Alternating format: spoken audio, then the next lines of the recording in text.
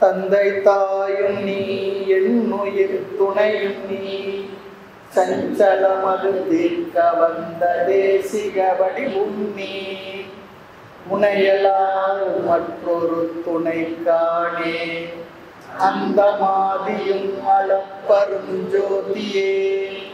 ஆதியே அடியார் தம் சிந்தை மேவிய தாயுமானவனும் சிறகிரில் பெருமானே. ஆதியந்தம் காட்டாத முதலாய் எமை அடிமைக்காவலத்து எடுத்த அன்னை போல நீதி பெரும் உருவாகி மனம் வாக்கு எட்டா நிச்சயமாய் சொச்சமதாய் நிமலமாகி வாதமிடும் சமய நெறிக்கரியதாகி மௌனத்தோர் வாழ்வெளியாய் வயங்கா நின்ற ஜோதியை என் உயிர் துணையை நாடி கண்ணீர் சொரிய இரு கரம் குவித்து தொழுதல் செய்வார்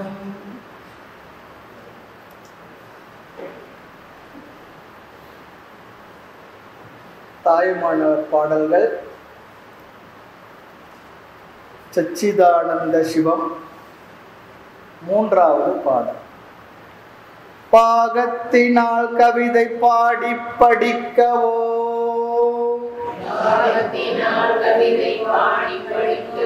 பக்தி நெறி இல்லை வேத பாராயண பணுவல் மூவர் மூவர் செய்வல்லது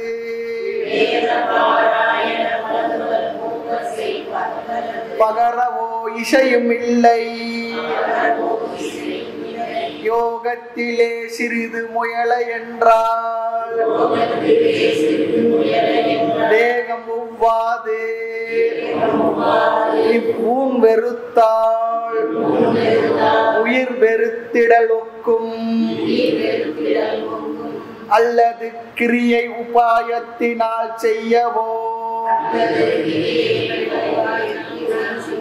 மோகத்திலே சிறிதும் ஒழிய இலை. மெய்ஞான மோனத்தில் நிற்க என்றால். முற்றாது பரிபாக சக்திகள். அநேகம் நின் மூதறிவிலே எழுந்த. தாகத்திலே வாய்க்கும் அமிர்த பிரவாகமே. தன்னன் தனிப்பெருமையே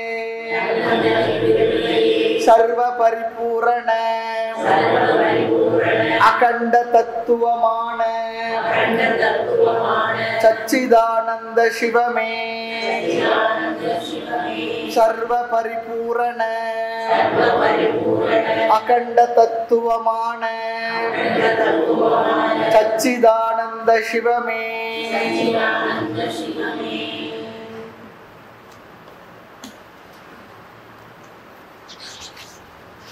சென்ற இரண்டாவது பாடலினுடைய திரண்ட கருத்து. அது நம்ம பார்க்கல சென்ற வகுப்பில் விட்டு இருந்தோம் குடக்கொடு குணக்காதி திக்கினை உழக்கூடு. அந்த பாட்டில் அந்த பாட்டினுடைய திரண்ட கருத்து மேற்கு கிழக்கு முதலிய திசைகளை உழக்கு என்னும் அளக்கும் கருவியில் முகப்பது போல. கிழக்கு மேற்கு அளக்க முடியுமா? அழக்க உழக்க வச்சு அது போல் அழ அளக்க முடியாதது போல் ஐந்து பூதங்கள் ஒன்று கூடி அவற்றை கொண்டு கட்டப்பட்ட சிறிய இல்லத்தை இந்த உடல். ஜன்னல்கள் ஒன்பதுடன் விளங்கும் நடமாடும் வீட்டை. வீடு நடமாடுமோ? நடமாடினா என்ன ஆகும்? நடமாடும் வீட்டை இந்த உடல்.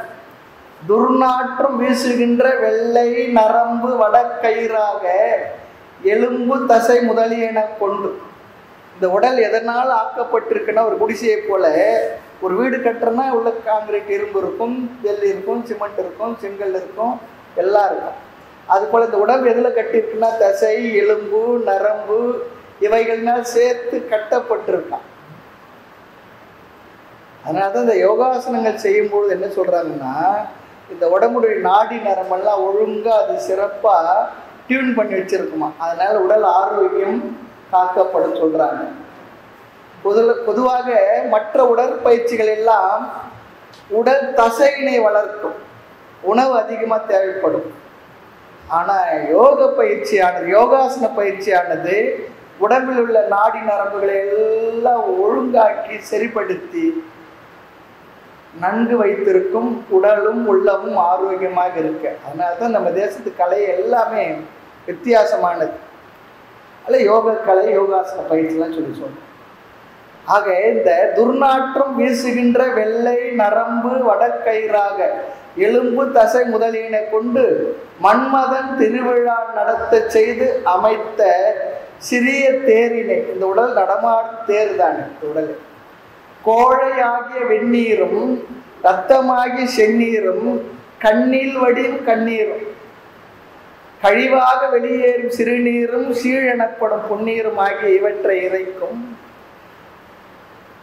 இறைச்சியாய் மாமிசத்தால் ஆகிய தோல்பை இந்த உடல் என்ன? தோல்பை சொல்றார். தோல்பாவை நாளா சுமையாகும் ஜீவன் என்று இங்கு ஆர்ப்பால் எடுத்தது எவராலே பராமர்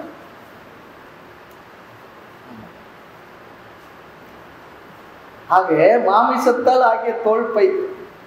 இது மறுபடியும் என்ன ஆகுதுன்னா கருமருந்து கூட்டை சொல்லி சொன்னோம் பிறவியை மறுபடியும் மறுபடியும் வளர்க்கக்கூடிய உற்பத்தி செய்கின்ற ஒரு கூட்டு என்னது உடலிலே வெளிப்பட்டால் இந்த மனது மனதினால் செயல்கள் செயலினால் வினை வினையினால் மறுபடியும் பிறவி. இப்படியாக வளர்கின்ற இந்த கூ உற்பத்தி செய்யும் கூட்டை வெட்ட வெட்ட தளிர்க்கின்ற வேட்கை மரம் உருகின்ற வெட்ட வெட்டு தளிர்க்கின்ற மரம் வெட்ட வெட்டு வளர்த்தது இல்லையா? அது போல ஆசையாக மரம் வளர்கின்ற இந்த உடலுக்கு பேர் என்ன சொல்றாங்க சுடுகாட்டைன்னு சொல்றாரு. இடுகாடு சுடுகாடுன்னுவாங்க. அதுவே முதல்ல நிறைய புரியறது இல்லை இடுகாடுன்னு சமாதி பண்ணி புதைக்கிறது. சுடுகாடுன்னா அந்த உடலை சுடுகின்ற ஒரு இடம் சுடுகாடு. இல்லையா? ஆக இது சுடுகாட்டு. இந்த உடல் என்னவா? இந்த உடலே அதுதான் சொல்றேன் மெய்போல் இருந்து முடிவில் பொய்யாகும் உடம்பை. இதுக்கு பேர் என்ன? மெய். ஆனால் உண்மையில் என்ன இது? பொய். பொய்யெல்லாம் ஒன்றாய் பொறித்து வைத்த பொய் உடலை மெய் என்றால் மெய்யாயிடுமோ அப்படி சொல்லி கேட்கிறார் கேள்வி கேட்கிறார். இல்லைன்னு சொல்லி சொல்றார். நிலை இல்லாதது என்று உணர்ந்து பிரம்ம ஞானம் பெற்று இருப்பது என்றைக்கோ அதுதான் சென்ற பாடமுடைய திரண்ட கருத்து. பிரம்ம ஞானம்னா என்ன?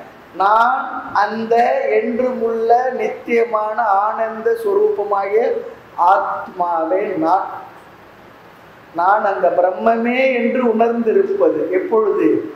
இந்த எலும்பு தசை முதலேயே இந்த உடலுக்குள் இருந்து கொண்டிருக்கும் பொழுது நான் அந்த பிரம்மம் என்ற அறிவோடு இருக்க அதுதான் ஞானம். நான் இந்த உடல் இல்லை மனதில்லை பஞ்சபூதங்களும் இல்லை இந்த உலகம் இல்லை மனம் இல்லை புத்தி இல்லை புத்தி ஏற்கனவே இல்லை அது வேற விஷயம். இல்லை என்று புரிந்து அந்த அறிவிலேயே நிற்பது நான் பிரம்மன். அகம் பிரம்ம அஸ்மின் சொல்றது ஆள் இல்லை. அவ்வளவுதான். அகம் அவ்வளவுதான். அகம்னாலும் பிரம்மன் எல்லாம் ஒண்ணுதான். அப்படி இருப்பது என்றைக்கும் கேட்க அழகான பாடல். அடுத்து இன்றைக்கு பாடல் பார்ப்போம். என்னுடைய இயலாமை அதை சொல்றார். முக்தி விருப்பமே பெருமை உடையது அதில் தான் இருக்கணும் சொல்கிறார் பாகத்தினால் கவிதை பாடி படிக்கவோ பக்தி நெறி இல்லைன்னு சொல்றார். இறைவா உன்னை பாடி பரவி போற்றுவதற்கு துதிப்பதற்கு என் மனசுல பக்தி இல்லைன்னு சொல்றார். யார் மீது அன்பு இருக்கின்றதோ அவர்களைத்தான் நாம் மனதார் என்ன பண்ணுவோம்? வாழ்த்துவோம் வழிபடுவோம் பாராயணம் செய்வதெல்லாம் செய்வோம். பக்தியுடைய ஒரு பகுதி இறைவனை துதிப்பது வாயால் பாடி மனைவினால் சிந்திக்க போய பிழையும் புகுதொருவான் நின்றனவும் தீனும் தூசாகும் செப்பேனோ இருப்பாவை திருப்பாவையில சொல்றான் அது போல வார்த்தையில மனதுல பாடுறோம் அது எப்போ வரும்? திட்டு எப்போ வரும்? யார் மீதும் கோபம் ஆத்திரம் இருக்கணும்னு திட்டு வரும். அது போல இறைவனை பாடணும்னு சொல்லி சொன்னா மனசுல அவர் மீது பக்தி இருந்தால் பாடல் வரும். அப்படி பாகத்தினால் பாகத்தினா பக்குவமாக பாக அத்தில் என்ன பிரித்து பார்க்கணுமா? அது என்னவா? சர்க்கரை பாகின் பதத்தில் பாடி என்று அர்த்தம் எடுத்துக்கணும். ஆமா. ஒரு பொருள் செய்யணும்னா அந்த பாகு பக்குவமா திரட்டி எடுக்கணும். பாகு முடிஞ்சிட்டா அந்த பொருளே வராது வீணாயிடும். அது போல பக்குவப்பட்ட மனதோடு உன்னை பாடி படிக்கவோ அதாவது பாகத்தினால் கவிதை பாடி படிக்கவோ பக்தி நெறி இல்லை என் உள்ளத்துல அன்பு இல்லைன்னு சொல்றார். பக்தி இல்லை. பக்தி இல்லைன்னா என்ன? அன்பால் கரைந்து கரைந்துருகி அண்ணா அரசே என கூவி பின்புற்றழும் சே என விழிநீர் பெருக்கி பெருக்கி பித்தாகி துன்பக் கடல் விட்டு சொரூபானந்த சுடற்பொழுது அந்த பக்தி இருந்ததுன்னா மனதில் அந்த பக்குவம் அந்த குழைவு அதெல்லாம் வர சொல்லி அது இல்லைன்னு சொல்லி சொல்றார். கவிதை சொல்லி சொன்னா புதிதாக புனைதலை சொல்கிறார் பாடி என்றாவே புதிதாக புனைதல் சொல்லி அர்த்தமா? ஏற்கனவே பாடின நாலு பேர் வரியை சேர்த்து வச்சு நான் ஒரு கவிதை பண்ணிட்டேன் அப்படிலாம் இல்லை. புதுசா உள்ளத்துலேருந்து வரணுமா? பார்க்கிறோமே. திருவாச்சகன் தாயுமானவர் அருணகிரியார் நிறைய பாடல்கள்லாம் பார்த்தா ஆயிரக்கணக்கான பாடல்கள் எல்லாம் எப்படி தான் பாடு எப்படி பாடினார் எப்படி வந்தது? அதெல்லாம் உள்ளத்துல அந்த அன்பு இருந்தால் அதெல்லாம் இல்லை அதுதான். புதிதாக புனைதலை. படிக்கவோ சொல்லி சொன்னால் பாடுறதுக்கு சொல்றாரு இந்த ஊர்ல எல்லாமே படிக்கிறது தான் சொல்றாங்க. பாட்டு படிங்க. பாட்டு பாடுறது யாரும் சொல்லி நான் கேட்கவே இல்லை. ஒருவேளை அது பாடுறது படிக்கிறா போல இருக்க என்ன எனக்கு தெரியல. நிறைய பாட்டு படிங்க பாட்டு படிங்கன்னு தான் சொல்றாங்க. பாட்டு பாடுதல் சொன்னார். ஒரு புதுசாக ஒருத்தர் ஒரு பெரிய ஒரு கச்சேரி பண்ணுறவருக்கு மிருதங்க வாசிக்கிறதுக்கு ஆடு அந்த அந்த நாளைக்கு எழுதான் ஒருத்தர்கிட்ட கேட்டார். சரி ஒருத்தர் அனுப்பி வைக்கணும். புதுசாக ஒருத்தர் அனுப்பி வச்சார். அனுப்பி வச்ச ஒரு பாட்டு கச்சேரியில் முடிஞ்ச ஒரு பாட்டு அனுப்புனர் கேட்டார். எப்படி நான் அனுப்பி வச்சா அது உங்களுக்கு எப்படி உங்களுக்கு சக சௌகரியமாக வாசித்தாரான்னு முதல்ல அவர் என் பாட்டுக்கு வாசித்தார். பிறகு அவர் பாட்டு வாசித்தார்.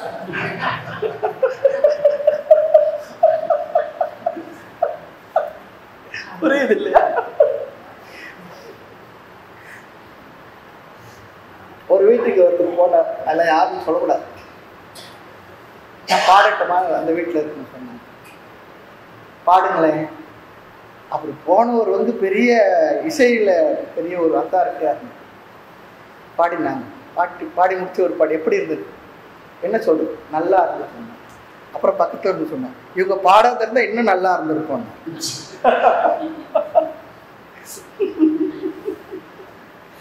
அப்படிலாம் இல்லைன்னு சொல்ல. பக்தி என்றால் அடியனுக்கு பக்தி. அந்த மார்க்கத்துல அந்த மனசு இல்லை சொல்ற ஆய்மனர் சொல்ற அடுத்து பாருங்க வேதம். வேதங்களாகிய மறைநூல்களை பாராயணம் செய்வதற்குரியதாகிய அது அதுவும் எனக்கு இல்லை மூவர் செய்யும் பணுவல் அது. மூவர் சொல்லி சொன்னால் அப்பர் சுந்தர ஞான சம்பந்தம் மூவர் தான். மூவர் செய்து தானே தேவாரம். திருவாசகம் மணிவாசல் பெருமானார் செய்து ஆகினா தேவாரம் சொல்லி சொன்னால் மூவர் செய்து அந்த மூவர் செய்த அந்த மூவர் செய் பணுவலது அது தேவாரத்தை பா பகரவோ பாடுவதற்கோ இசையும் இல்லை. பண் சொல்கிறாங்க பாருங்க. அந்த இசை எனக்கு இல்லை இசை பாடுறதுன்றது ரொம்ப அற்புதமான ஒரு விஷயம்தான். மனதை ஒருமிக்க செய்வதற்கும் மனது கரைவதற்கும் உருகுவதற்கும் பாடல் இப்ப சாமகானம் சொல்றாங்க பாருங்க வேதத்துல சாமகானம் ராவணன் இருக்கானே இசையில ரொம்ப தேர்ச்சி பெற்றவன். அது மட்டும் இல்லை ராவணன் பிராமணன். அவருடைய வேதம் என்ன தெரியுங்க சாமவேதி யாகங்கள்ல சாமவேதிகள் அவங்க தான் முதல் மரியாதை பண்ணுவாங்க நான்கு வேதத்தில். அப்படின்னு சொல்லி சொல்லி. நம்ம தமிழ்நாட்டில் அது தெரியறதில்லை.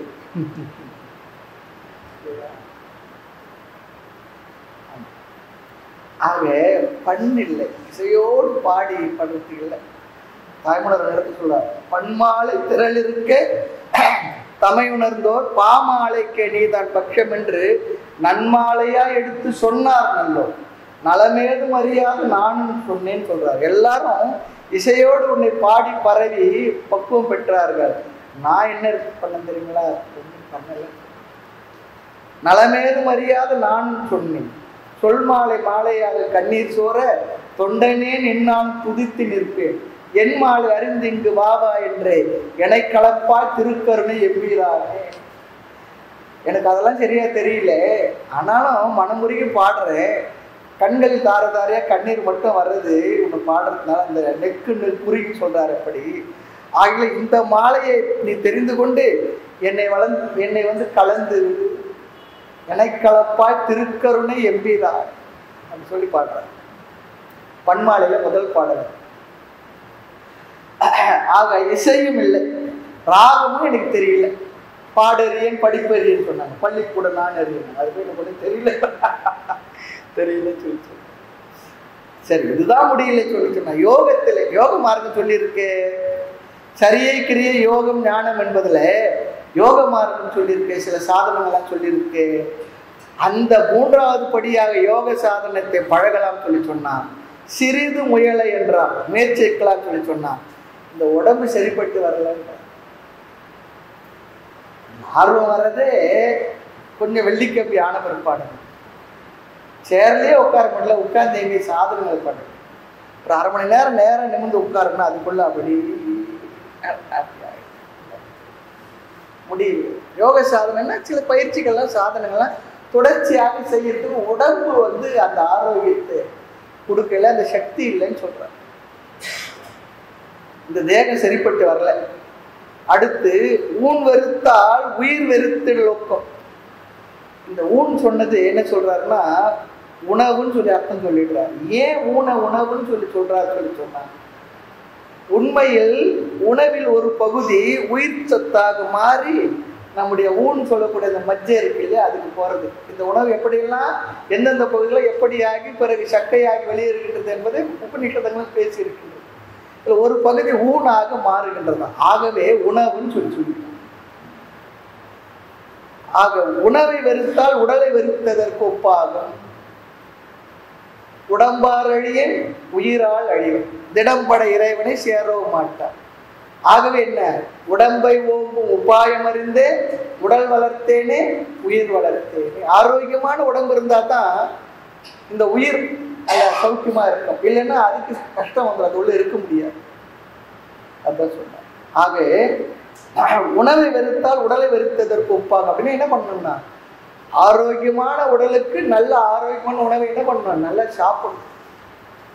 சும்மா எதுக்கு எடுத்தாலும் விரதம் விரதம் விரோதம் பண்ணிட்டு இருக்கக்கூடாது. ஓரளவுக்கு என்ன வேணுமோ அதை சாப்பிடணும்.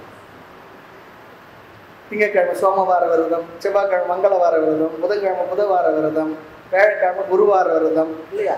இப்படியே அது தாய்மாருக்கு சொல்லவே வேண்டியதில்லை. செய்துட்டு கடைசியில் அல்சர். ஓரளவுக்கு ஆரோக்கியம் வேணும். விரதமும் இருக்கணும். அதுக்காக எல்லா நாளும் இருக்கக்கூடாது. ஆரோக்கியமான உணவை அளவாக சாப்பிட்டு நல்ல உடலை. சவுண்டு மைண்டினே சவுண்டு பாடி சொல்லி சொல்றான். நல்ல ஆரோக்கியமான உடலினை உறுதி செய்யணும்னு சொல்லி சொல்லி ஆரோக்கியமான இந்த ஆரோக்கியம் எப்போ தெரியும் சொல்லி சொன்ன ஆரோக்கியத்துக்கு தேவை. ஆரோக்கியம் போன பிற்பாடு தான் தெரியும். இல்லைன்னா ஆரோக்கிய சாமி எப்போ பார்த்தாலும் ஹாஸ்பிட்டலே படுத்திருந்தாருன்னா எப்படி இருக்கும்? அப்புறம் அதுக்கு தான் நிறைய நேரம் கொடுக்க வேண்டியதாக அதனால உடல் வந்து ப உடற்பயிற்சி அல்லது நடைப்பயிற்சி எது முடியுமோ அது. ஆரோக்கியமான உணவு அளவான உறக்கம் இதெல்லாம் வாழ்க்கையில பழகி கொண்டால் அதுவே பெரிய விஷயம். அதுவே நம்ம பண்றது அது உணவை வெறுத்தால் உடலை வெறுத்ததற்கு ஒப்பாகும். சரி இல்லை இல்லை என்றால் கிரியைகள் உபாயத்தினால் செய்யவோ? சரியை கிரியை கிரியைகள் சொல்லி சொன்னார் இறைவனை மந்திர விதிப்படி ஆகம முறைப்படி பூசை செய்தல். உபாயமாக செய்யவோ முறையாக செய்யவோ சாதனமாக செய்யவோ அதை வாய்ப்பாக செய்யவோ என்ன ஆகுன்றதா மனசு சரியா வரல. ஏன்? மோகத்திலே சிறிதும் ஒழியவில்லை. ஏன் மனது அதில் ஈடுபடவில்லை என்றால் மோகம் மோகம் என்பது என்ன? டெல்யூஷன். எது எதுலேயோ மனசு போயிருக்கு. அதை செய்யும் பொழுது இந்த மயக்கம். மனசு முழுமையாக அதில் ஈடுபடவில்லை. அதான் சொல்ல மோகத்தில் சிறு மோகத்தினால் சிறிதும் ஒழியவில்லை. சிறிது அதை உட்காந்து பண்ண முடியல. மோகம் என் மனசில் அந்த வேட்கை குறையவே இல்லை. சரி அதுதான் பண்ண முடியல. மெய்ஞான மோனத்தில் நிற்க என்றார் அது அதை விட கடினமாக இருக்கு. இதுவே பண்ண முடியலன்னா மெய்ஞானம் எப்படி கிடைக்கும்? திடீர் புளிவாரம் போல உள்ளே இருந்து வந்துருமா? நல்லா சாப்பிட்டோம்னா ஏப்பம் வரும் சாப்பிடலனாலும் ஏப்பம் வரும். அதுதான் வரும் ஞானம் வராது. திடீர் மெய்ஞானம் முறையாக சாஸ்திர பயிற்சியை செய்து குருவினிடத்தில் பாடத்தை கற்று மெய்ஞான மோனத்தில் நிற்க வேண்டாம். ஞானம் வந்தால் என்ன ஆகும் மனதில் மோனம் வந்துவிடும் அமைதி வந்து அதுதான் மோனமே ஞான வரம்பு. ஞானத்துடைய அளவு என்ன? மௌனம். அதனால்தான் பட்டினத்தாருக்கு எங்க? கரும்பு இனிக்கிறதோ அங்கு உனக்கு மோட்சம் சொன்னார். அப்படின்னா என்ன கரும்பை வந்து ஞானத்துக்கு இடையா சொல்லுவாங்க. எங்க ஞானம் உனக்கு சித்திக்கின்றதோ முக்தி தரும் மோன கரும்பு தித்தித்திட விளைந்த தேனே பராமரிங்க தாய் உனக்கு சொல்லுவார் முக்தி பித்தான மோன கரும்பு ஞானத்தினால் வருவது மௌனம். அந்த மௌனம் உனக்கு எங்கு சித்திக்கின்றதோ அங்க உனக்கு மோட்சம். அது சென்னையில் இருக்கக்கூடிய திருவொற்றியூர்ல அங்க சிந்திச்சதுன்னு சொல்லி சொல்லுவாங்க. அப்படின்னு அர்த்தம் ஞானத்துல நிலை பெற்று இருக்கக்கூடிய மனநிலை அதுதான் அங்க அர்த்தம். எங்க பேய் கரும்பு இனிக்கிறதோ அங்க உனக்கு மோட்சம் சொல்லி சொன்னதா சொல்லுவாங்க. அது என்ன சொல்றாங்க அப்படி அது அர்த்தம் என்ன? ஞான நிஷ்டை எங்க வருதோ அங்க மோட்சம். அந்த மோட்சத்தை எங்க உனக்கு கிடைக்கணுமோ பிராரத்த முடியுதோ அங்க உனக்கு அமையும் என்பது பகவானுடைய அர்த்தம். இந்த மகாபாரதத்துல அர்ஜுனை தாத்தாவை கொண்டு விடுறான் யார? பீஷ்மர். அவர் கொல்ல முடியல அவர் இடத்துலயே போய் கேட்டு வராங்க உங்களை இங்கேருந்து நீ நீக்காம நாங்க அடுத்தபடி போக முடியாது. நீங்க ஒரு பெரிய ஒரு ஸ்டம்பிளிங் பிளாக் சொல்றாங்க போறோம் அது போல இருக்கிறீங்க. உங்களை என்ன பண்றது? அப்போ ஒரு வய வழி சொல்லி கொடுக்குறாங்க செகண்டியை முன்னிறுத்தி யுத்தம் பண்ணி நான் சொல்றேன். அதை முடித்த பிற்பாடு போய் கேட்கும் பொழுது அழறான் கேட்குறான் உங்களை எப்படி நான் உங்கள் உங்களிடத்துல கேட்டு உங்களை கொண்டுட்டேனே சிகண்டி ஒரு ஷீல்டாக வச்சு நான் என்னுடைய வீரத்துக்கு இழுக்கு இல்லையான்னு சொல்லும் அழகாக ஒரு வார்த்தை சொல்கிறார் இன்னொன்று ஞாபகம் வச்சுக்கோ ஒரு சுத்த வீரனுக்கு எந்த விதமான தடை இல்லாத சமமான வீரர்களுக்குள்ளே சண்டை நடக்கணும். நானும் ஒரு ஷீல்டு வச்சுருந்தேன் என்ன தெரியுமா? நான் எப்போ நினைச்சா இறக்கணுமோ அப்படி ஒரு வரம் எனக்கு எங்கள் அப்பா கொடுத்துருக்கா அது ஒரு ஷீல்டு தானே எனக்கு. அதை வச்சுட்டு உங்களுடைய யுத்தம் பண்ண என்னை எப்படி நீக்க முடியும்? ஆகினால அந்த குற்ற உணர்வு மனசுல வேண்டாம்னு சொல்கிறாங்க அப்புறம் நிறைய விஷயங்கள் எதுக்காக சொல்றேன்னு சொல்லி சொன்னா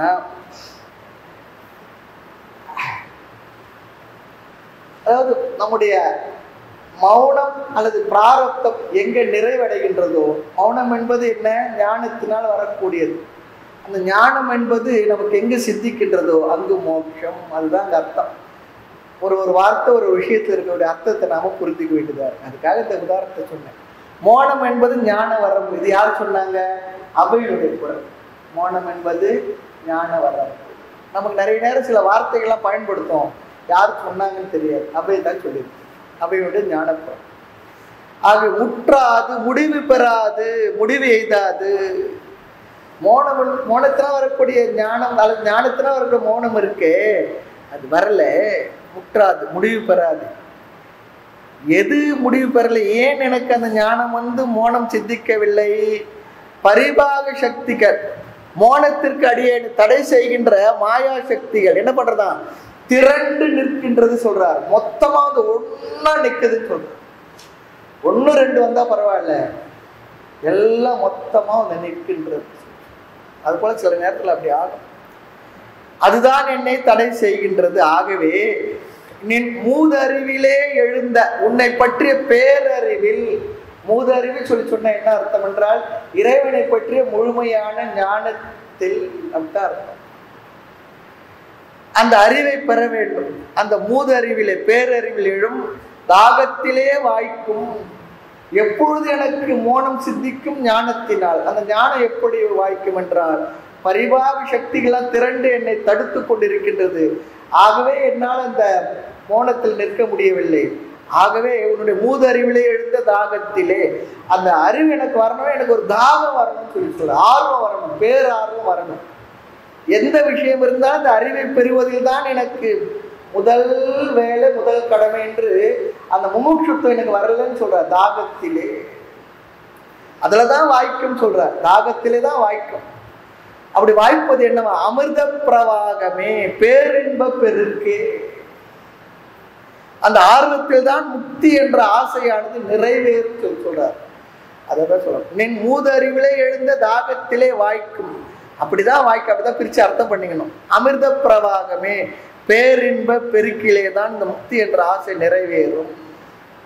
நின் மூதறிவு என்றது இறைவனுடைய வடிவாகிய ஞானத்தை ஞானமே இறைவன் தான் இறைவனே ஞானம் தான். ஒரு வகையில பார்த்தா அந்த ஞானம் தான். ஞானத்தினால் கொழுவார் சில ஞானிகள். ஞானம் என்பது இறைவனை பற்றி தெளி தெளிவெனப்படுதல் பொருள் புலப்பாடு. அப்படி ஒரு ஒரு பழைய வார்த்தை ஒன்று தெளிவுன்னு தெளிவு சொல்லி சொன்னா அது பொருள் புலப்படணும் சொல்லி அப்ப ஞானம் சொல்லி சொன்னா அங்க இருக்கிறது என்ன? அந்த ஞானத்துடைய தெளிவாக இருப்பது இறைவன் தான். அதனால தான் சொல்கிறார் மூதறிவு. அப்படி சொல்லி சொன்னா இறைவனுடைய வடிவாகி ஞானத்தை மூதறிவு என்ற பேரறிவு. தாகம் சொல்லி சொன்னா வேட்கை அமிர்த பிரவாகம் என்பது அமுத வெள்ளத்தை.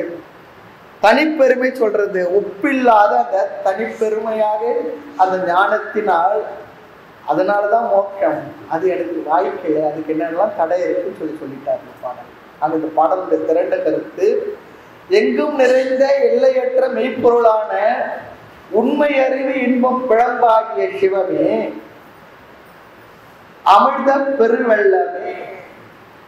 அமிர்தம்னா பெருசு அது ஒரு பெருவெள்ளம் சொல்றாரு எப்படி இருக்கும்?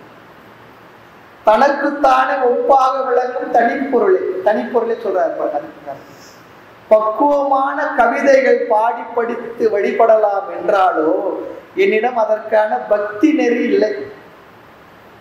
மறைநூல்களையும் மூவர் முதலிகள் அவருடைய தேவார பாடலையும் பாடலாம் எனில் அதற்குரிய இசை அறிவு எனக்கு இல்லை.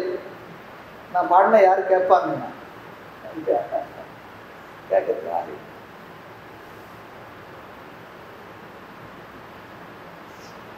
யோக நெறியிலே சிறிதளவு முயற்சி செய்யலாம் என்றால் யோக சாதனை செய்யலாம் என்றால் உடம்பு ஏற்றுக்கொள்ள யோகாசனம் கற்றுக்கிறதுக்காக வருவாங்க இந்த நடைப்பயிற்சி எல்லா பயிற்சியுமே இருக்கணும் முதல் கட்டணம் தெரியுங்களா முதல் நாள் ஆர்வத்து நாள் அதிகமா செய்துடுவாங்க. அடுத்த நாள் என்ன ஆகும் தெரியுங்களா? அந்த உடம்பு சாதாரண தான் போக்கில் இருக்குது கொஞ்சம் வலி எடுக்கும். ரெண்டாவது நாள் மூணாவது நாள் விட்டுடுவாங்க. அங்கே என்ன பண்ணால் ரெண்டாவது நாள் மூணாவது நாள் அந்த வலியை பொறுத்துட்டு செய்தோம்னா அடுத்து அந்த உடம்பு அதற்கு சரிப்பட்டு வந்துடும் அதை நான் பண்ண மாட்டேன். அதனால உடல் ஆளு முடியல எனக்கு. அதான் அதான் சொல்கிறேன் அடுத்து உணவின் மீது வெறுப்பு கொண்டால் அது உயிரை வெறுத்ததற்கு உட்பாகும். கிரியை நெறியில் செல்லலாம் என்றால் மோகம் குறையவே இல்லை. மனசு அதுல ஈடுபடவே சொல்ற ஏதோ ஒரு புஷ்பத்தை போட்டு ஓம் நம சிவாயா ஓம் சிவாய நமக்கு ஏதோ போட்டோம்னு சொல்லி சொன்னாங்க. ஒரு ரெண்டு வார்த்தை பண்றதுக்குள்ள மனசு எங்கேயோ போயிடுது. இந்த கை தான் போடுது. கையை கூட அப்படி நின்றுடுது ஏதோ ஞாபகம் மனசு ஈடுபடும் ஞான நெறியில் சென்று மௌனமா இருக்கலாம் சொல்லி சொன்னா அதனை தடுக்க பல மாயா சக்திகள் திரண்டு நிற்கின்றன. எனவே தேவர் நமக்கு சொல்ற போலயே இருக்கு. நம்ம தான் சொல்றாரு. எல்லாருக்கும் அதே தான் எல்லாருக்கும் அதே தான் எனவே தேவரீர் அது பேரறிவில் எழும் பேரின்ப பெருக்கிலே அதில்தான் முக்தி என்ற ஆசை நிறைவேறும். முக்தி நெறி அறியாத மூடரோடு முயல் இல்லையா சித்தினரு நெறி கெண்கடவை முக்தி பெற வேண்டும் என்ற ஆசை. அடுத்து நான்காவது பாடல். மனதுடைய மாயை மனமே மாயை. சொல்றார். மாயையே இந்த மனம் என்ற மாயை என்னால் வெல்ல முடியுமோ? உன்னுடைய அருள் பெற்றவருக்கெல்லாம் ஒளி உருவாக இருக்கின்ற இது. எனக்கு எதனா ஒரு உழவு சொல்லி கொடு சொல்றேன் பாட்டை பார்ப்போம் இமையளவு போதை ஒரு கற்ப காலம் பண்ணும். இவ்வுலகம் எவ்வுலகமோ? என்று எண்ணம் வருவிக்கும் மாதர் சிற்றின்பமோ? எண்ணின் மகமேரு ஆக்கி. சுமையெடுமு நின்று தான் சும்மாடு மாயமை சுமையாலும் ஆக்கினாலும்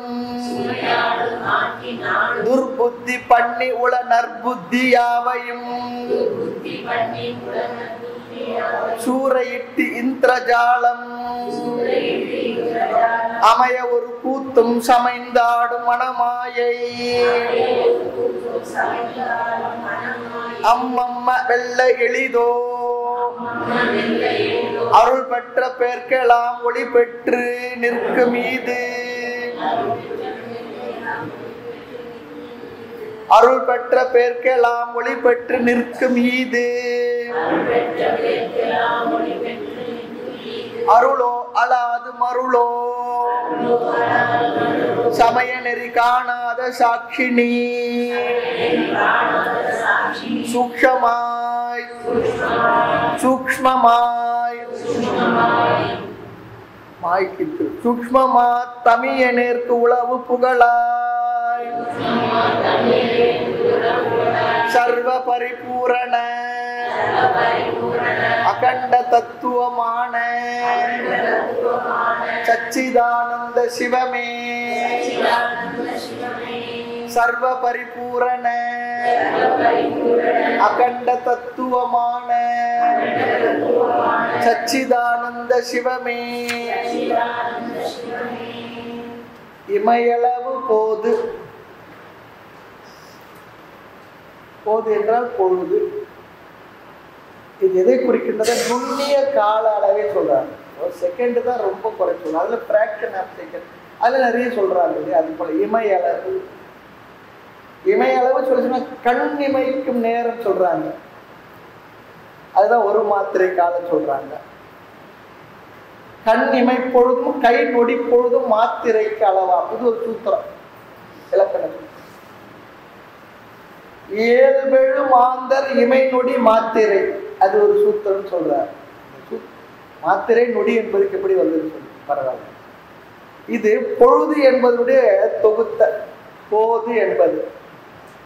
அந்த இமைப்பொழுதை கற்ப காலம் கற்ப காலம் என்றால் யுகங்களின் முடிவு காலத்தை குறிப்பதா இந்த உலகம் என்று சொல்வது இந்த மண் உலகத்தை. அழகும் அதற்கும் இணைப்பும் உடைய இன்பங்கள் இருக்கக்கூடிய இந்த உலகம் என்று அர்த்தமா இவ்வுலகம் சொல்லி சொன்னாவே. அடுத்து பாருங்க சுமை என்பது பாரத்தை. சுமை சொல்லி சொன்னா பாரம். சும் என்ற பகுதி அடியாக வந்ததா? சுமக்கப்படுவதால் அது பேர் சுமை. பழைய பாட்டு ஒண்ணு மண்ணுக்கு மரம் பாரமா மரத்துக்கு கிளை பாரமா? கொடிக்கு காய் பாரமா? பெற்ற பிள்ளை தாய்க்கு பாரமா? ஆனா பத்து மாதம் சுமந்து பெற்றால் பெரிய பாரம் தானே. அதற்குரிய கடனை கொடுக்கவே முடியாது. உலகத்து எந்த கடனை வேணா கொடுக்கலாம். தாய் சுமந்த அந்த சுமைக்கான கடனையும் தாய் செய் கொடுத்த அந்த பாலுக்கான கடனை திருப்பி இந்த உலகத்தை யாராலுமே கொடுக்க முடியாது. அது புரியணும் புரியும் பொழுது அந்த தாய் இருக்கிறது இல்லை நிறைய பேர். அதுக்குள்ள அது டிக்கெட் வாங்கிட்டு போய்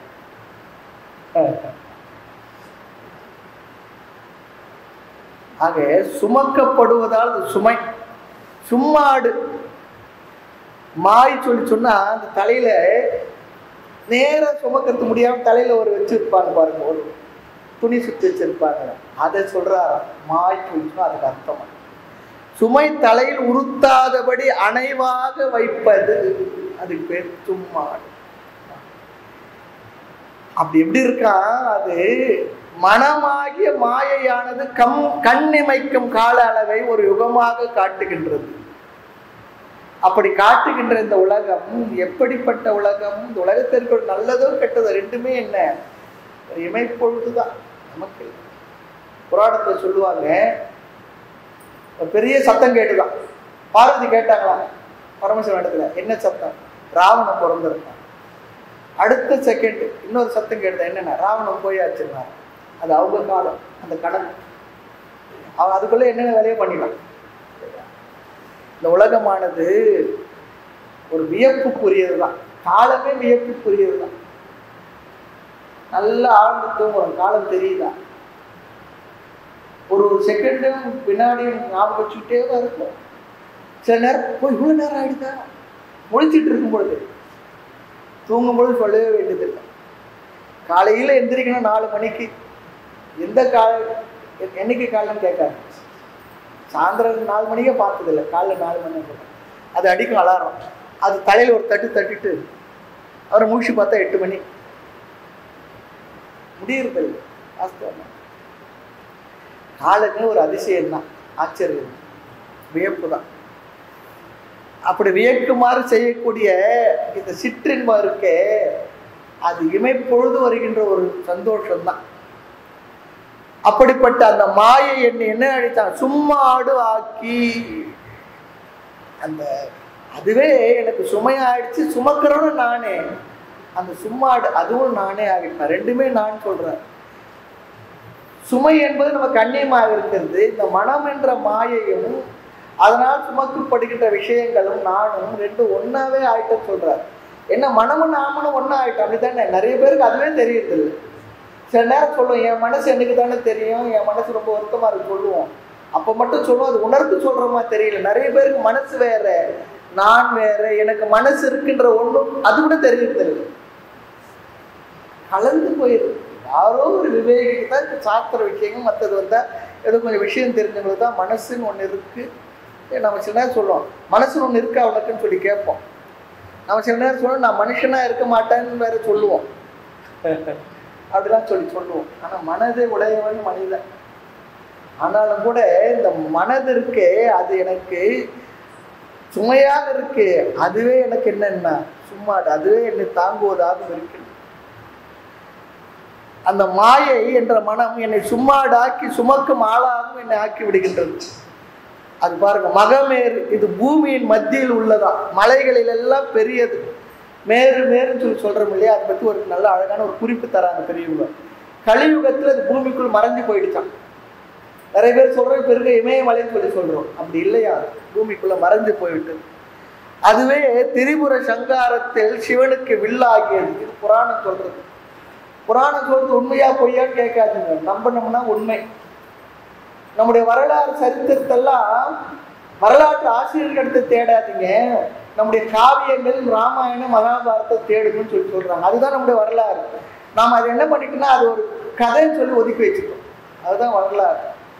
காரணம் அதில் உள்ள எல்லா சம்பவங்கள் அதில் உள்ள பெயர்கள் அதில் உள்ள ஊர் அதில் இருக்கக்கூடிய நதிகள் மலைகள் எல்லாம் இன்னைக்கு இந்த தேசத்தில் இருந்துகிட்டு இருக்கு. அது இதெல்லாம் வரலாறு. ராமன் வாழ்ந்தது வரலாறு ராவணன் வாழ்ந்தது வரலாறு கிருஷ்ணன் வாழ்ந்தது வரலாறு பஞ்சபாண்டர் வாழ்ந்தது வரலாறு. எல்லாம் வரலாறு தான் இந்த தேசத்தில். அதில் இப்படிப்பட்ட மகான்கள் மகாத்மாக்கள் எல்லாம் நடந்து புனிதமாக்கிய புண்ணிய புனித பூமி இது. மதுரையே எத்தனை திருவிளையாட்டு சிவபெருமான் பண்ணியது. அது கதையாக தானே நினைச்சிட்டு இருக்கோம். உண்மை அது.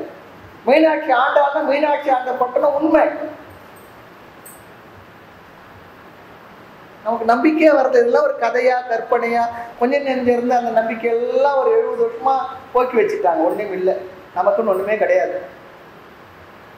இல்லை உண்மை வரலாறு சரித்திரம். பெரியதற்கு மேருமலை உதாரணமாக சொல்லுவார்கள். ஆக நாள்தோறும் தீய அறிவை தந்து துர்புத்தி செய்து இருக்கக்கூடிய நல்புத்தி எல்லாவற்றையும் சூறையிட்டு சொல்றார். நல்ல அறிவை எல்லாம் கொள்ளையிட்டு சொல்லி சொல்றார். துர்புத்தி என்றால் கெட்ட புத்தின்னு சொல்லி அர்த்தம். துர் என்பது இந்த புத்திக்கு ஒரு அடைமொழியாக சொன்னால் நல் புத்தியும் இருக்கேன் அதனால இது வந்து விசேஷனம் தான். நாளும் தினம் தினம் சொல்லி சொல்கிறார் எந்த காலத்துக்கும் சூறையிடன்னு சொல்லி சொன்ன என்ன அர்த்தமா திருட வீட்டுக்கு வந்தானா அவனுக்கு வேண்டியதை எடுத்துட்டு வீதி பொருளை என்ன பண்ணுவானா? சும்மா விட்டுட்டு போக மாட்டான். எல்லாத்தையும் வீசி எறிஞ்சிட்டு போவான். அது போல என்னுடைய அறிவை துர்புத்தி செய்து சூறை வேறு சூறையிட்டு சென்று விடுகின்றது. பண்டித்தார் தன்னுடைய பொருளை எல்லாம் யாருக்காக கொடுத்துக்கோ பாரணைத்தும் பொய்யனவே பட்டினத்து பிள்ளையை போல ஆறும் துறக்க அரிதற்கு சொல்றது யாரு? தாய்மணம் அப்ப சொன்னாரா இந்த பொருளை எல்லாம் அவனுடைய கணக்கு பிள்ளைங்க சேர்ந்த. அவனிடத்துல இதை என்ன பண்றதுன்னா எல்லாத்தையும் எடுத்து சூறையிட்டுடுங்க எடுத்து கொடுன்னு சொல்லல சூறையிட்டு. யாரார் வந்து எடுக்கிறாங்களோ எடுத்துட்டு போட்டோம் எப்படிப்பட்ட செல்வம்? நவரத்துல வைரம் வைடூரியம் எல்லாம் இருக்கு. வைர வியாபாரி அவர். அவ்வளோ பெரிய கோட்டீஸ்வரர். சூறையிடும் சொல்லிட்டு போனாரு. என்ன ஒரு மனம் அதான் செல்வ பட்டினத்தார் பத்திரகிரி பண்புணர்வது என்னால். பாரனைத்தும் பொய்யனவே பட்டினத்து பிள்ளையைப் போல் ஆறும் துறக்கை அரிது அரிது சொல்றார். சாதாரண விஷயம் இல்லை. ஒரு செகண்ட் தான். சரி சூரியன் ஐயோ தப்பா சொல்லிட்டு மறுபடியும் நினைச்சாரண்ணா நெவர் இல்லவே இல்லை. அந்த செகண்ட் முடிஞ்சு அதுதான் துறவுன்றான் விட்டதை மறுபடியும் விட்டது பற்றாண்டு. தாய்மொழி விட்டுட்டியா? விட்டது விட்டது தான் மறுபடியும் பற்றதெல்லாம் இல்லை. அப்படி வாரி இறைத்து விட்டு போவாங்க. அதுதான் இங்க சூறையாட சொல்றாங்க. மாய வித்தை காட்டி ஒரு கூத்தினை நிகழ்த்திடும். நாம் சொல்லுவோம் சில நேரத்துல எதுனா ஒரு விதமா நடந்தனா என்ன கூத்து இது? என்ன கூத்து நடந்துட்டு இருக்கு? அப்படின்னு சொல்லி சொல்லுவோம். அந்த இந்திரஜாலத்தை ஜாலம் என்பது பொய்யை மெய் போலவும் மெய்யை பொய் போலவும் காட்டுகின்ற வித்தை. ஆக மாயையிலிருந்தும் மனம் பிறப்பதால் இங்க மனமாயை சொன்னார். மாயையிலிருந்து மனம் பிறகு மனமே மாயை தான் மாயை என்பது மனம் தான் இது புரியணும் நமக்கு. மனமும் மாயம் வேற வேற இல்லை. ரொம்ப அர்த்தம் புரியணும். மனமே மாயை தான் மாயையுடைய விட அஞ்சு பஞ்ச சூட்சம பஞ்சபூதங்கள்ல வந்தது அது வேற. மாயையே சொன்னா மனம் தான் மனம் சொன்னா மாயை தான் என்ன அதான் மனமாயை அம்மம்ம வியப்பால் அந்த ரெண்டு வார்த்தை சொல்றாங்க. வியப்பால் அடுக்கி வந்த சொல். அம்மம்மா அருள் பெற்றோர் என்றது இறைவனுடைய திருவருள் பெற்றவர்களை குறிக்கின்றது. ஒளி பெற்று நிற்ற அப்படி தோன்றி நிற்பது இறைவனுடைய திருவருளை பெற்று நிற்கின்ற. அது அந்த தன்மை இருக்கே. அருளோ அது திருவருள் செயலோ. உண்மைதான். மருள் என்றால் இங்க மயக்கம். மயக்கத்தில் அப்படியே மயக்கமாகி நின்று விட்டது ஆக இறைவன் சமயங்கள் எல்லாம் கண்டு விடாதபடி சமயாதீதனாக இருப்பதால் சமயநெறி காணாத காட்சினி சொல்றாரு. இந்த வார்த்தை தாய்மணர் பாடல்கள் நிறைய இடத்துல சொல்லியிருக்கார். இறைவன் சமயத்துக்கு உட்பட்டவனா வெளிப்பட்டவனா சொல்லி சொன்னார். இறைவன் சமயாதீதன் நிறைய இடத்துல சொல்கிறார் மற்றவங்களை எல்லாரையும் விட தாய்மணர் பாடல்கள்ல சமயாதீத பழம்பொருளை. ஆனால் அவர் சமயத்து சமயம் சொல்கிறார் ஆனால் அது அதுக்குள்ளே அடைக்கல. அதுக்கு ஒரு கட்ஸ் இருந்தால் தான் சொல்ல முடியும். சைவ சமயமே சமயம் சொல்லிருக்கார் ஆனால் இறைவன் யார்? சமயாதீத பழம்பொருளை. கைவந்திடவே மன்றுள் வெளி. காட்டும் இந்த கருத்தை விட்டு பொய்வந்துழலும் சமய நெறி அதையும் சொல்லிடுறார். புகுத வேண்டாம் முக்தி தரும். தெய்வ சபையை காண்பதற்கு சேரவாரும் ஜனத்தே. காணாத சாட்சி நீ காட்சி.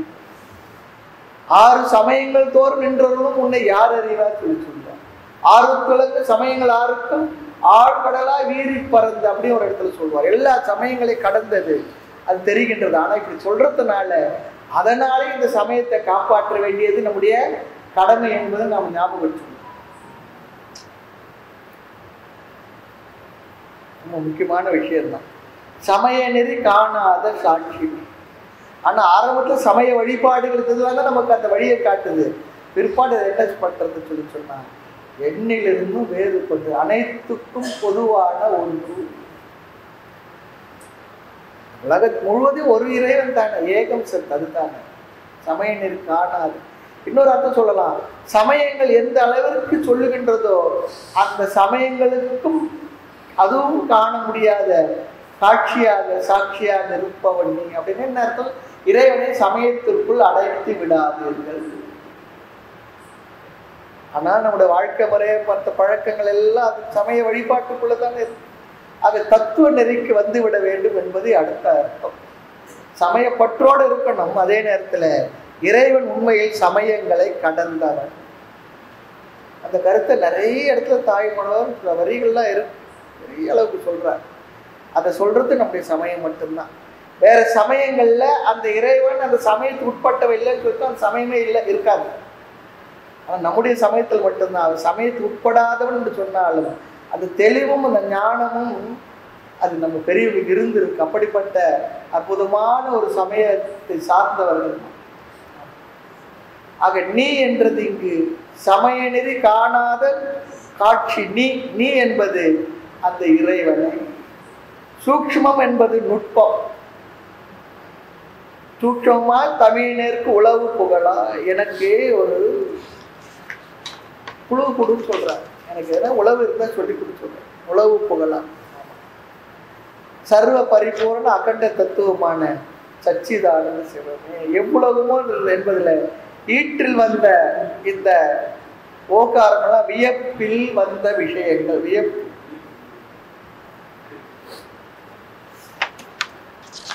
அந்த பாடலுடைய திரண்ட கருத்து எங்கும் நிறைந்த எல்லையற்ற மெய்ப்பொருளான உண்மை அறிவின்பம் பிழம்பாகிய சிவமே அமிழ்த வெள்ளமே தனக்குத்தானே உப்பாக விளங்கும் தனிப்பொருளே பக்குவமான கவிதைகள் பாடி படித்து வழிபடலாம் என்றாலோ என்னிடம் அதற்கான பக்தி நெறி இல்லை. மறை நூல்களையும் மூவர் முதலிகள் அருளிய தேவார பாடல்களை பாடலாம் என்றால் அதற்குரிய இசை அறிவும் இல்லை. யோக நெறியிலே சிறிதளவு முயற்சி செய்யலாம் என்றால் உடம்பு ஏற்றுக்கொள்ளவில்லை. ஒத்துழைக்கவில்லை. உணவின் மீது வெறுப்பு கொண்டால் அது உயிரை வெறுத்ததற்கு சமமாகும். ஆகவே அடுத்து பாருங்கள். கிரியை நெறியிலே அந்த பூஜைகள் முதலிகள் எல்லாம் செய்வதற்கு முயற்சி செய்யலாம் என்றால் மோகம் சிறிதும் குறையவில்லை. அதனால் அதுவும் முடியலை.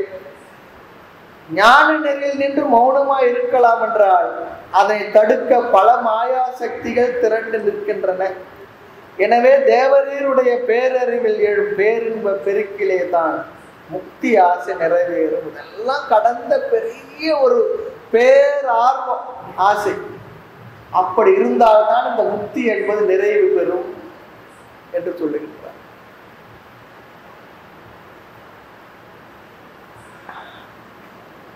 அடுத்து ஐந்தாவது பாடல். இனி ஏது எமக்கு உன் அருள் வருமோ எனக் கருதி.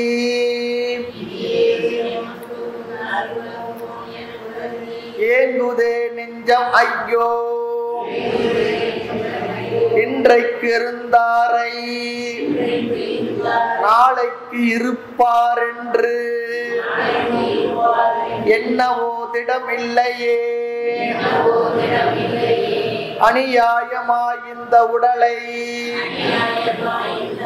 நான் என்று வரும் அந்தகற்கு ஆளாகவோ ஆடித்திருந்து நான் கற்றதும் கேட்டதும் அவளமாய் போத நன்றோ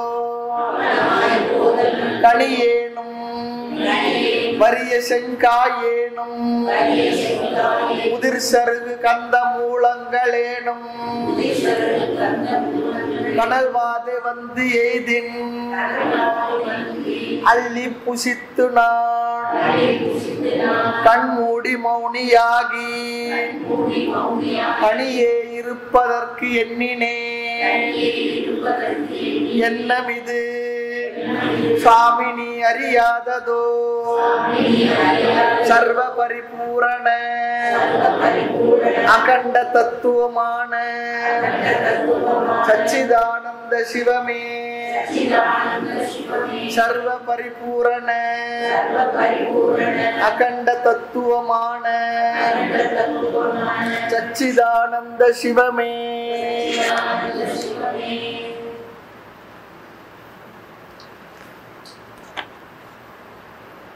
இறைவா உங்களுடைய திருவருள் அடியேனுக்கு கிடைக்குமா என்று ஏங்குகின்றேன். அநியாயமா நான் இந்த உடலை எவனுக்கு ஆளாக்கி விடவோ? நான் இவ்வளவு படிச்சதும் கேட்டதும் வீணாகி விடுதல் நல்லா இருக்குமா? நன்றாக இருக்குமா? ஆகவே அடுத்து ஒண்ணு கேட்கிறாரு பாருங்க. கண்மூடி மௌனியாய் தனியே இருக்கணும்னு சொல்லி நினைச்சேன்னு சொல்றாரு. கண்மூடி மௌனியாகி தனியே இருக்க நினைக்கின்றது இது உனக்கு தெரியுமா தெரியாதா கேட்கிறேன் நம்ம வீட்டில் சில நேரத்தில் சும்மா இல்லாமல் நான் பூஜை செய்யறதுக்கு வீட்டுக்காரர் சொல்லிவிடுவோம் இங்கே பாருங்க என்னை யாரும் இந்த நேரத்தில் சிந்தர் பண்ணக்கூடாது அது பண்ணக்கூடாது தனியாக இருக்கும் ஜெபம் பண்ண போகிறோம் தியானம் பண்ண போகிறோம் புதுசாக எல்லாரும் சரி பரவாயில்ல ஒரு பத்து பதினஞ்சு நிமிஷம் நம்ம நிம்மதியாக இருக்கும் அவர் விட்டுடுவோம்னு விட்டுடுவாங்க நாம நிம்மதியாக இருக்கும் அவர் வேற உள்ள போய் உட்காந்துடுவார் உட்காந்துட்டு ஏதோ கொஞ்சம் ஆரம்பிப்பார். ஆரம்பித்த அடுத்த செகண்ட் அவர் மனசு கேட்கார் அப்படி இப்படி பார்ப்பாரு. எதுனா நடக்கும். பதில் சொல்லணும்னு நினைப்பாரு. சும்மா அமைதியாக இருக்க முடியாது. நான் மாதிரி சொல்லிட்டேமே என்ன? இருபது நிமிஷம் என்ன யாரும் தொந்தரவு பண்ணாரு அது வேற கஷ்டம். அப்படியே இருக்குது. இப்படிலாம் நினைக்கிறேன் ஐயா உனக்கு தெரியாதுன்னு கேட்குறேன். சில நேரத்தில் அப்படிலாம் ஆகும். நம்மளே இல்லை பொதுவாக சொல்கிறேன் நான். சில பேர் அப்படி இருக்காங்க. இனி ஏது எமக்கு உன் அருள் வருமோ? இனி சொல்லி சொன்ன என்னவா? இவ்வளவருக்கு பிறகும் சொல்லி அர்த்தமா? நல்ல அழகா சொல்றோம் இவ்வளவு பிறகு நம்ம சொல்லணும் சில நேரத்தில் எவ்வளவு அவஸ்தப்பட்டு அப்புறம் சொல்லணும் இவ்வளவு பிற்பாடு உங்க மனசு எப்படி இருக்கு இப்படி இருக்குங்களான்னு கேட்கணும் அதுதான் இல்லை. இனி ஏது சொல்லி சொன்னா இவ்வளவருக்கு பிறகும் என்று பொருள். எமக்கு என்பது எல்லா அடியாரும் சேர்த்து சொல்ற. எனக்குன்னு சொல்ல எமக்கு உன் என்றது இறைவனை அருள் என்றது திருவருளை. வருமோ சொல்லி சொன்ன ஐயத்தின் பால் வந்த வினாவா? வருமோ? சந்தேகம் இனியேது எமக்கும் அருள் வருமோ என கருதி ஏங்குதே நெஞ்சம் ஐயோ சொல்றார் ஐயோ சொல்ற வார்த்தை ரெண்டு மணி நேரத்தை சொல்லுவார் இனி எடுத்து தேகம் விழுமு புஷ்பதில் சேர வரணும் ஐயோன்ற ஒரு வார்த்தை இன்னொரு இடத்துல உபயோகப்பட்டு இந்த இடத்துல இங்கே சொல்கிறான் ஐயோ சொல்லி சொன்னால் இறங்கற் பொருளில் வந்த சொல்லுது. இனியே எமக்குன் அருவரும் எனக்கு ஏங்குதே நெஞ்சம். ஐயோ. அடுத்து பாருங்க இன்றைக்கு இருந்தாரே நாளைக்கு இருப்பர் என்று என்னவோ திடமில்லையே. நெருநல் உலகொருவன் இன்றில்லை என்னும் பெருமை படைத்து இந்த உலகம் இந்த உலகத்துக்கு ஒரு பெருமை இருக்கான் நேத்து இருந்தாருப்பா. நேத்து பேசிட்டு வந்தோம்ப்பா. இப்போ பேசிட்டு வந்தேன் அவ்வளவுதான். அதுக்குள்ள ஆமா. அடப்பண்ணி வைத்தார் அடிசிலம் உண்டார். மந்தனம் கொண்டார். இடப்பக்கமே இறை நொந்ததென்றார் கிடக்க விழுந்தால் கிடந்தொழிந்தார். மேசிவ் ஆர்ட் அட்டாக்கா திருமூலர் சொல்றார். இடப்பக்கமே இறை நொந்தது. இடப்பக்கம் என்ன இருக்கு? ஆர்ட் இருக்கு. வந்தாரு என்னம்மா சாப்பாடு கேட்டாரு? சாப்பிட்டாங்க சாப்பிட்டாரு. மூஞ்சில வந்து ஆடிட்டு இருந்தாரு. வெத்தலை பாக்கு கொடுத்தாங்க போட்டாரு. என்னவோ ஒரு மாதிரி இருக்க. இருங்க தண்ணி எடுத்துட்டு வரேன் வரதுக்குள்ள ஐயா போயிட்டா. எங்க போயிட்டாரு? அவர் போற வேண்டிய இடத்துக்கு போயிட்டான் அடப்பண்ணி வைத்தார் அடிசில உண்டார் மடக்கொடியாரோடு மந்தனம் கொண்டார். கிட இடப்பக்கமே இறை நொந்தது என்றார். கிடக்க விழுந்தார் கிடந்தொழிந்தார். அது உலகம். ஆனா ஒரு வகையில் அப்படி போறது நல்லதுதான். என்ன பாயில் படுக்காமல் நோயில் விழாமல் அப்படிலாம் ஆகாம எல்லாரும் தானே கேட்குறாங்க எல்லாரும் கேட்கறது என்ன தெரியுங்களா? அப்படியே பொசுக்குன்னு போயிடணும் என்ன? பொசுக்குன்னு போயிடணும் அது பெரிய புண்ணியம் பண்ணியிருக்கணும். எல்லாரும் டிவி பார்த்துக்கிட்டு அப்படியே ஐஸ்கிரீம் சாப்பிட்டுட்டு அப்படியே போயிடுவோமாண்ணா. அதெல்லாம் கிடைக்கும். இது எந்தெல்லாம் கர்மா இருக்கோ அதெல்லாம் எப்படிலாம் அனுபவிக்கணுமோ உடலால மனதால வேற என்ன பண்றது? அப்படி நினைக்கிறது நல்லதுதான். வயதாக அது ஒரு பயம் வந்துடுது எல்லாருக்கும். சாமி யாருக்கும் தொந்தரவு கொடுக்காத போகுங்க. உண்மைதான். ஆனால் ஒன்று இருக்குது இந்த தேகம் எவ்வளோ அனுபவிக்க வேண்டியது இருக்கோ அதை அனுபவிக்கணும். இந்த தேகம் எடுத்ததுனால நமக்கு யார் யாரெல்லாம் உறவு வந்தாலும் அவங்க என்னென்ன அனுபவிக்கணும் அவங்களும் அனுபவிக்கணும். அப்போ தான் தீரும். அது யார் இந்த கணக்கெல்லாம் சொல்கிறது யாருக்கு தெரியும்? அதனால என்ன பண்ணக்கூடாதுன்னு அந்த இடத்துல யாருன்னா அப்படி நினைக்கிறது தவறு இல்லை அப்படி யாருன்னா நமக்கு செய்தாங்கன்னா செய்யட்டும்னு மனதில் நம்ம ஒரு அமைதியை ஏற்படுத்திங்க வேறு வழி இல்லை. அவர்களுக்கு அது விதிச்சிருக்கு செய்யலைன்னா நம்ம வருத்தப்பட வேண்டாம். செய்தாங்கன்னு செய்கிறாங்க வருத்தமும் பட வேண்டாம். அது அவங்களுக்கு கொடுத்துருக்கு செய்யட்டும் அவ்வளோதான் அதில் செய்தே ஆகணும்னு நினைக்க வேண்டாம். செய்தாங்க என்ன பண்ணுறது அது அவங்களுக்கானது? இல்லை என்றால் அவங்க எதுக்கு இந்த சரீரத்தில் வந்து பிறக்கணும்? நம்ம இடத்துல வந்து பிறக்கணும். ஏதோ ஒரு தொடர்பு வரணும். அப்படி வந்து ஒரு மனநிலை வந்துடணும். தான் அதான் சொல்கிறேன் கருது ஏங்குதே நெஞ்சம் ஐயோ ஏங்குதான் நெஞ்சம்? ஏங்குகின்றது இன்றைக்கு இருந்தாரு நாளைக்கு இருப்பர் என்று என்னவோ திடமில்லை. நின்றான் இருந்தான் கிடந்தான் தன் கேளற. சென்றா எனப்படுதலாம் நாளடியார் சொல்றாரு அழகா. எல்லாம் நின்றா இருப்பா இருந்தா இருப்பா பார்த்தனே அப்ப பார்த்தேன் இப்ப பேசினாரு. இப்ப போன்ல பேசினாரு. ஆமா பேசினார். அடுத்து என்ன? வாழ்க்கை அப்படிதான் இந்த நில்லாவை ஆகையினால என்ன ஆகக்கூடாதான் அநியாயமாய் இந்த உடலை நான் என்று வரும் அந்தகருக்கு ஆளாக்கும். இந்த வரி தெரிஞ்ச பிற்பாடு நம்ம மனதுல வேற எது வேலையோ மேலேயோ இருக்கக்கூடிய இந்த சாஸ்வத புத்தி இருக்கு பாருங்க. அது போச்சுன்னா நல்லது இந்த வார்த்தை மனசுல பதிஞ்சுதுன்னா ஒருத்தர் கேட்டார் சாமி இன்னும் ஒரு பத்து பாஞ்சு வருஷம் இருக்கணும் சாமி. என்னன்னா?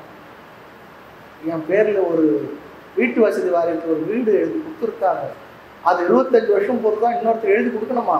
அது என் பேரை வருது அவன் பேருக்கு எழுதி கொடுக்குற வரைக்கும் எனக்கு ஆயுள் இருக்குள்ள சாமின்னு கேட்டார். எப்படி பாருங்க. அதெல்லாம் இல்லை. எப்போ போனோமோ எப்போ தயாராக இருக்கணும். எவர் ரெடி எப்பவும் தயாராக இருக்கணும்? நடந்தால் நடக்கட்டும். நடக்கலையா? ஓகே நடந்தால் ஓகே நடக்கலாம் டபுள் ஓகே போட்டு போகிற அளவுக்கு மனசு தெளிவாக இருக்கணும். ரொம்ப மனசுல இருக்கமாலாம் அது ஆகணும் இது ஆகணும் அது நடந்தே ஆகணும் இது நடந்தே ஆகணும்.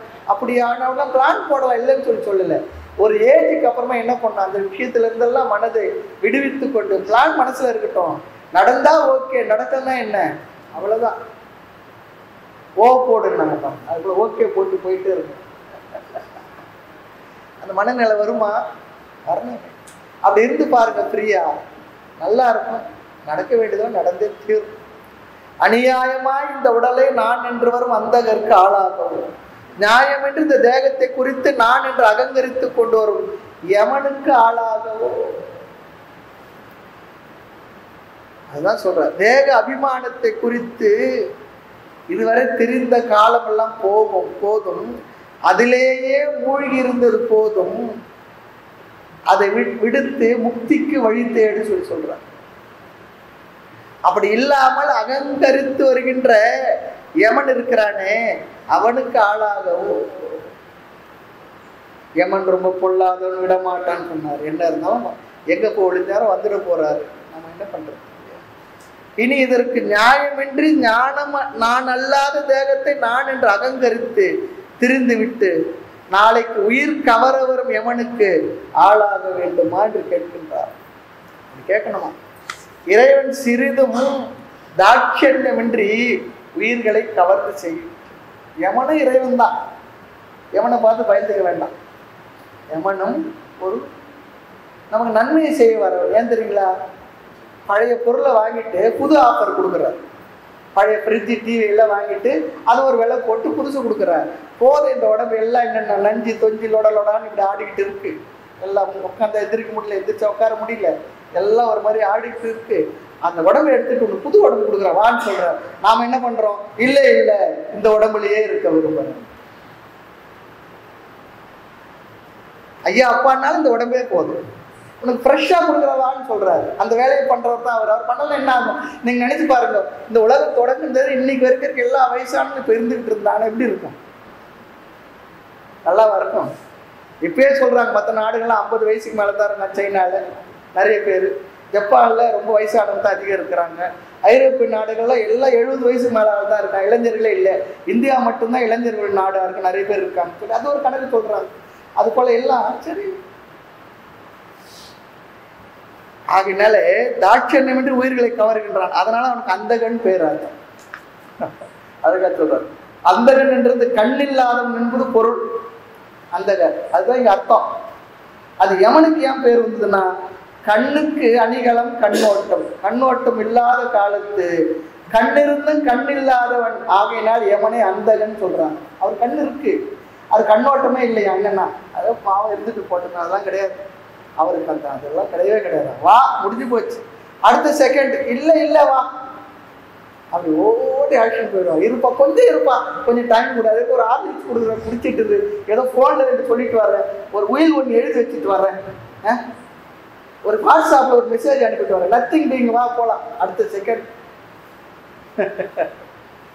அதனால கண்ணோட்டமே இல்லாதவன் அதனால அந்த கண் தாய்மனர் சொல்லுவார் என்னோடத்துல அந்தகா உன் பகட்டால் பகட்டுவது அடாதடா காசு நம்பால் செல்லாதடா என பேச வாயது தந்த செல்வமே யாரு?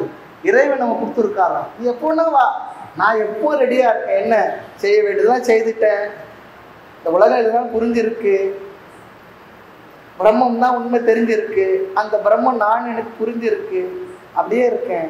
எப்போன்னா வா இப்போவோ எப்போவோ எப்போ ஒன்னா ரெடி இந்த வினாடியா ஓகே இல்லை நீ இன்னும் பத்து வருஷம் இருக்கணுமா? சரி பரவாயில்ல. இப்போ என்ன? அப்படி இருக்கணுமா? ஞானி இப்பவே போகணும்னு நினைக்க மாட்டான். இன்னும் கொஞ்ச நாள் இருக்குன்னு நினைக்க மாட்டான். ரெண்டுத்துக்கும் வருத்தமும் இல்லை சந்தோஷமும் இல்லை. அதுதான் ஞானியுடைய மனநிலை சொல்றாங்க. இப்போ வா ஓகே இல்லை இன்னும் ஒரு பத்து வருஷமா? சரி இருந்துட்டு போட்டு இப்போ என்ன? இருக்கிறதுல சந்தோஷம் இல்லை போறதுல துக்கம் இல்லை. இது ஞானியுடைய மனநிலையா இருக்கணும். கண்ணோட்டம்னா தாட்சண்யம். தாட்சண்யம் அவனுக்கு இல்லையா? சரி அடுத்து இன்னும் சொல்றார். மேலும் விஷயங்கள் அடுத்தவங்க பார்த்தோம் மூர்த்தி எல்லாம் வாழி இல்லை மௌன ஒரு வாழி. அருள் வார்த்தை என்றும் வாழி நண்பர் வாழி பராபரமே. ஐயனே எனதுள்ளே நின்று. அனந்த ஜென்மங்களாண்ட மெய்யனை உபதேசிக்க.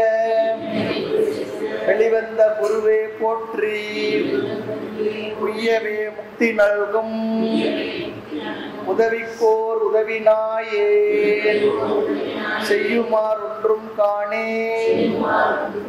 திருவடி போற்றி போற்றி.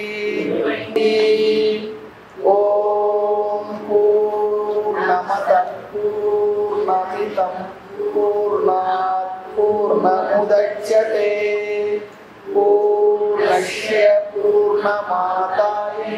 பூர்ணமேவா ஓம் சாந்தி சாந்தி சாந்தி ஹரி ஓம் ஸ்ரீ குருभ्यो நமः ஹரி ஓம்